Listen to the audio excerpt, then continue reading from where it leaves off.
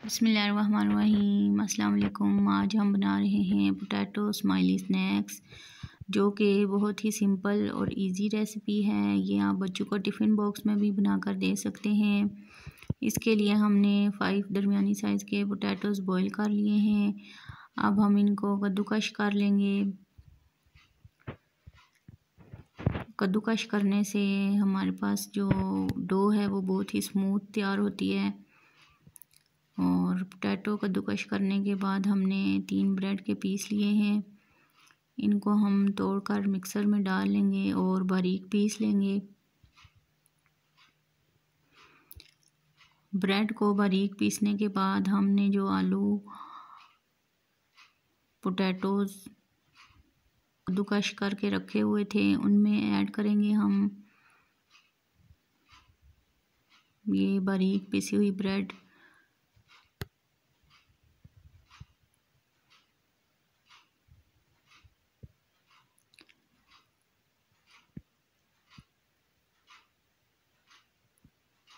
अब हम इसमें ऐड कर रहे हैं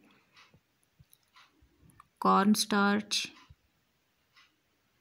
कॉर्न स्टार्च हमने लिया है फोर टेबल स्पून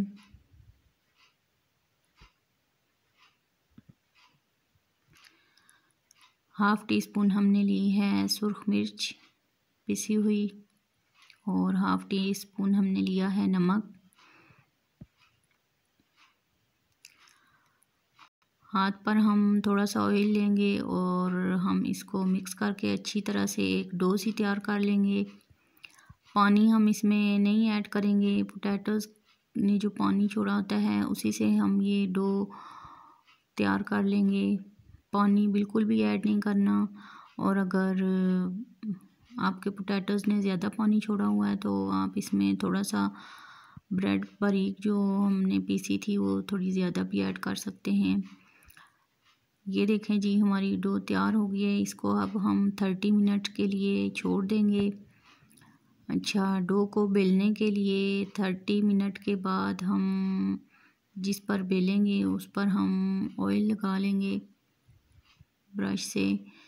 अगर आपके पास फॉइल पेपर है तो आप उस पर भी इसको बेल सकते हैं, ताकि जब हम पोटैटोज़ के स्नैक्स उठाएँ तो वो चिपके नहीं।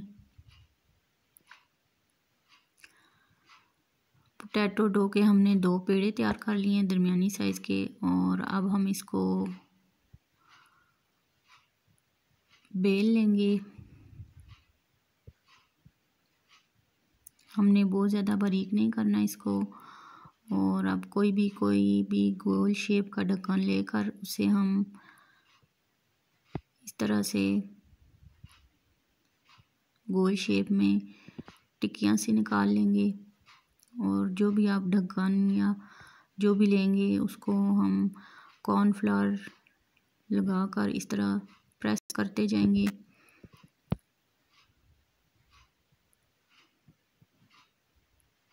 और अच्छी तरह से इसको दबाना है और फिर साइडों से जो डो है, वो इस तरह से हम उतार लेंगे और ये हमारे पोटैटो स्नैक्स रेडी हैं। अब हम इन पर स्माइली फेस बना लेंगे, किसी भी स्ट्रा या गोल चीज़ की मदद से हम इसकी इस तरह से आइस बना लेंगे प्रेस करके अच्छी तरह से और चम्मच की मदद से हम इसका फेस बना लेंगे। चम्मच को हम इस तरह रख कर नीचे की तरफ़ प्रेस करेंगे ताकि इसका स्माइल जो है वो अच्छी से बन जाए।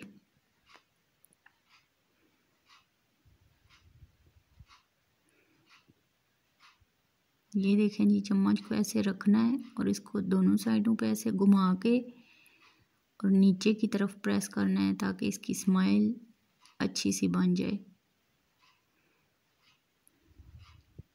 इसी तरह से हम अपने सारे स्माइली फेस तैयार कर लेंगे। ये देखें जी, हमारे स्माइली फेसेस तैयार हैं और फिर हम इनको फ्राई कर लेंगे।